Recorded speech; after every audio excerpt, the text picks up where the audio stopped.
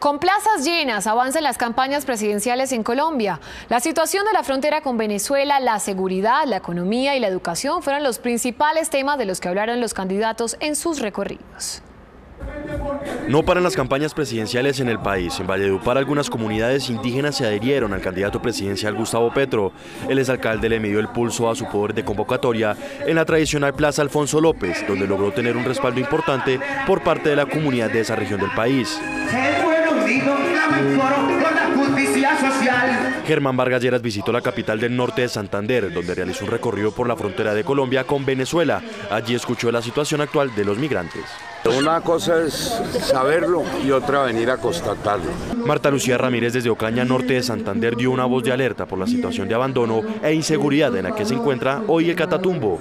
Nosotros de ninguna manera vamos a permitir que siga floreciendo el narcotráfico en toda esta región El candidato por el Partido Liberal Humberto de la Calle visitó Medellín, donde presentó su propuesta enfocada en los jóvenes del país. Juan Carlos Pizón compartió con los barranquilleros su propuesta de gobierno.